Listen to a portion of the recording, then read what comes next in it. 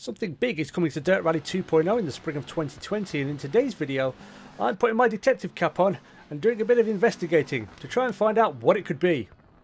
Plenty to get through, so let's get started.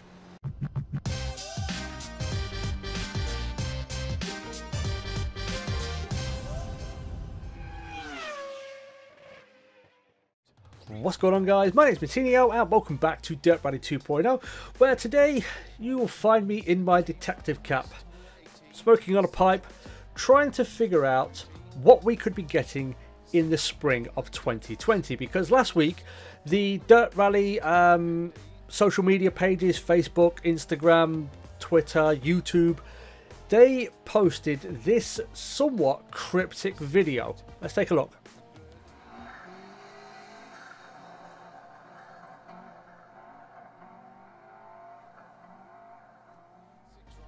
So as you can see, there wasn't a whole lot of information to go on from there. Of course, that's the nature of a teaser video. It's meant to sort of build anticipation ahead of a big uh, reveal or release.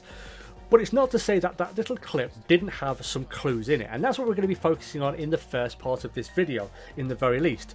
So the first big clue, and a lot of people picked up on this very, very quickly, and that is the sound you can hear in the video itself.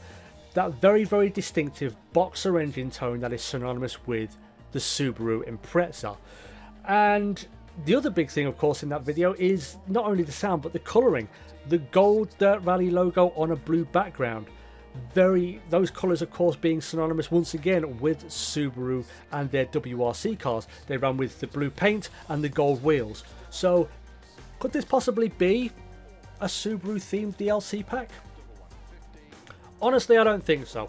I don't think it's going to be a Subaru themed DLC pack purely because I don't think they'd have the content to sort of fill out a DLC pack properly. Two, maybe three cars. It seems a little silly to do a teaser video and build all this anticipation for a DLC pack that's going to have two or three cars in it. Because I think the only ones realistically you could add, we've already got the 95 Subaru, you could possibly say we could add maybe the Legacy. I'd love to see that in there in the game. The 98 Subaru, sort of based on the 22B. Um, and then maybe something from sort of the mid 2010s, maybe 2006, 2007, the last of the um, saloon car WRC cars before they moved on to the, the, the hatchback version of the Subaru Impreza. So, could it? I don't think it's going to be a Subaru themed DLC, but it could point to something else. And I've mentioned this in previous DLC news videos. So, a little while ago, I think it was sort of summertime someone sent me a message on my Facebook page, um, and there's a link in the description if you want to go follow me there. There's some content that goes on there on uh, odd occasion.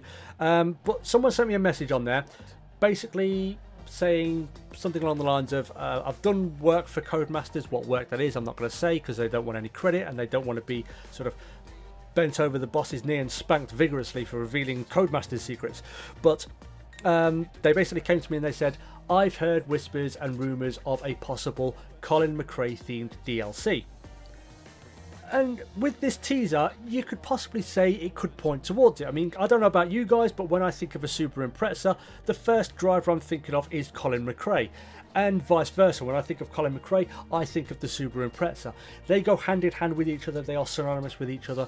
Colin obviously cut his teeth in and sort of um, built up his reputation as being the best driver, the best rally driver in the world in the Subaru rally cars. And the ProDrive Subaru team became the powerhouse they, they would eventually be by winning drivers and manufacturers championships on the back of Colin's fantastic driving. So they sort of go hand in hand. Their their histories and their legacies are inexorably linked because of the the the work they both did building that big legacy they now both have. So could it be potentially a Colin McRae themed DLC? I think there's a good possibility. There's a there's a good few cars that Colin drove. We haven't got in the game yet that I would love to see.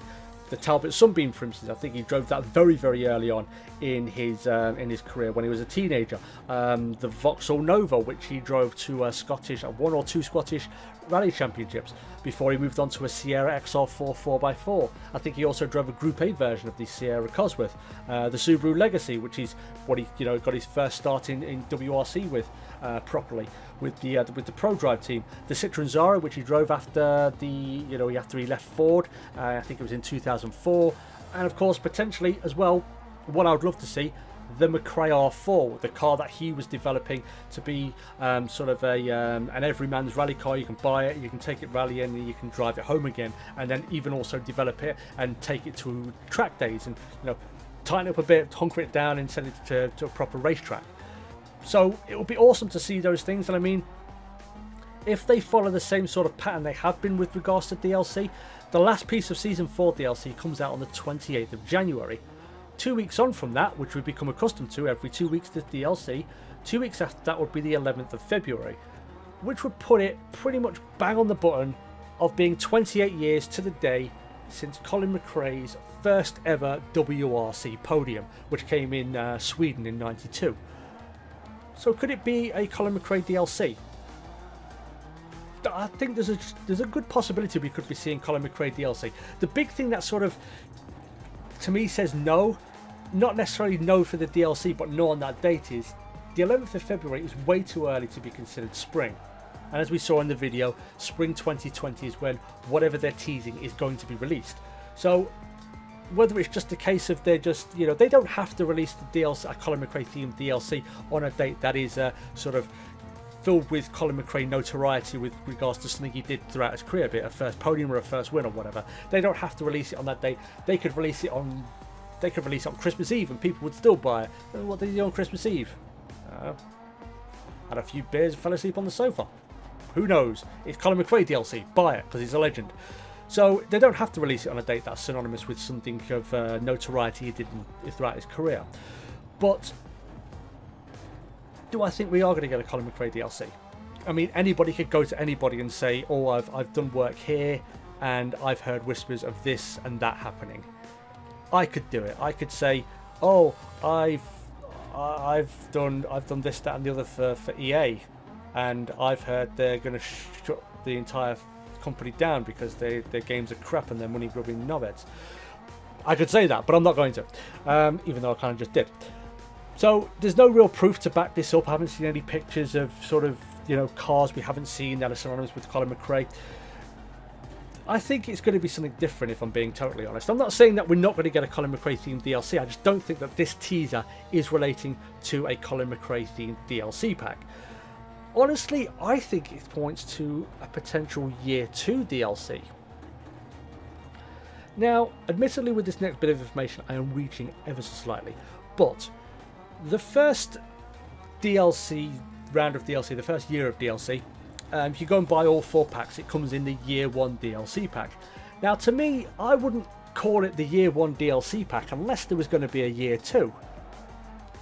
Think about it, the first PlayStation was released, they didn't release it and call it the PlayStation 1.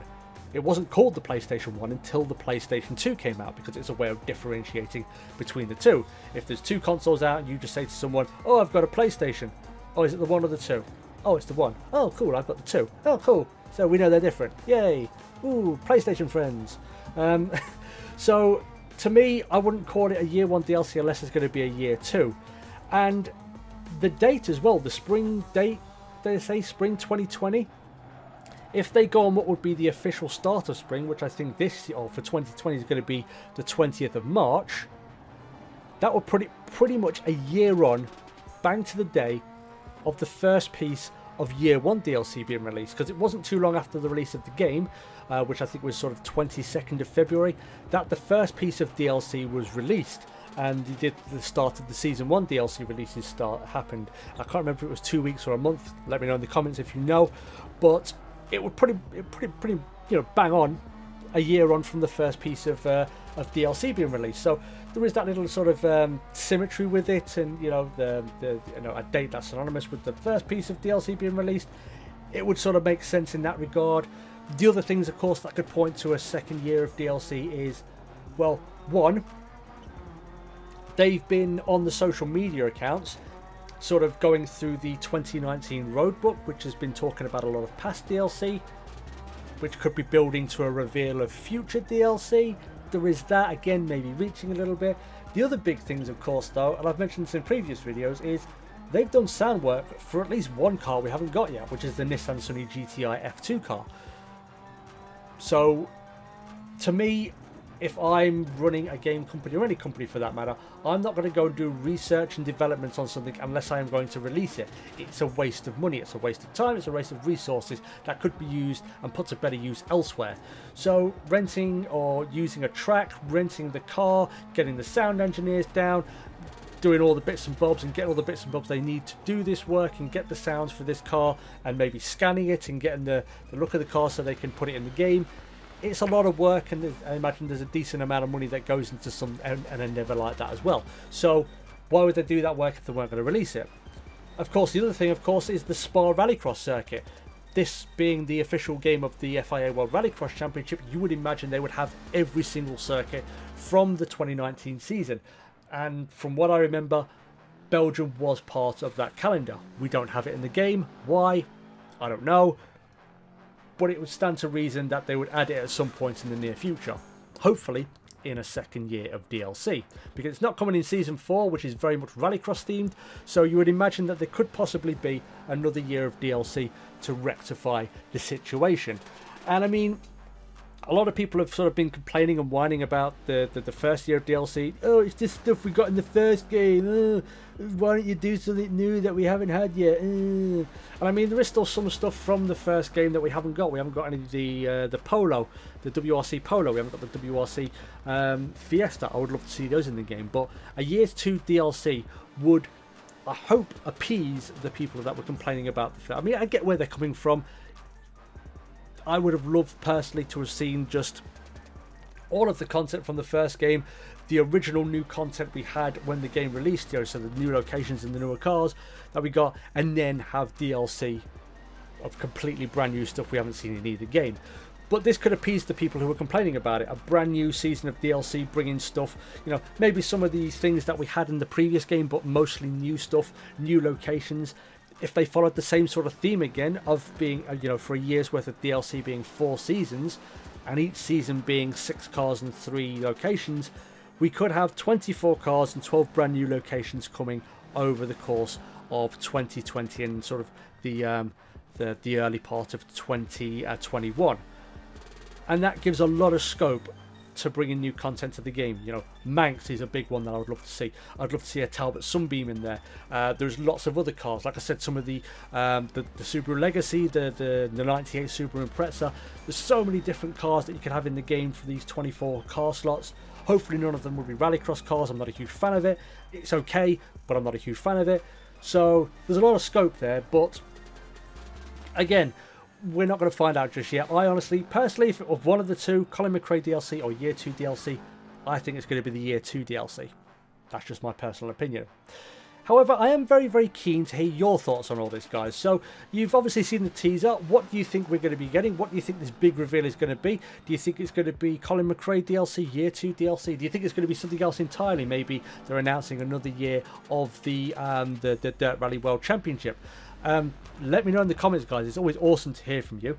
But that's pretty much the end of the video. So thank you everybody so much for watching. If you enjoyed this, you would like to see more Dirt Rally or sim racing content from myself or DLC news for Dirt Rally or other games, then make sure you hit that like button and subscribe. And if you do subscribe, hit that bell notification button as well so you get updates for all of my new videos whenever they go live. And like I said, leave a comment down below. Let me know your thoughts on what this uh, teaser could be alluding to. But again, thank you so much for watching. Stay cool. And as always, I will catch you in the next video. Peace!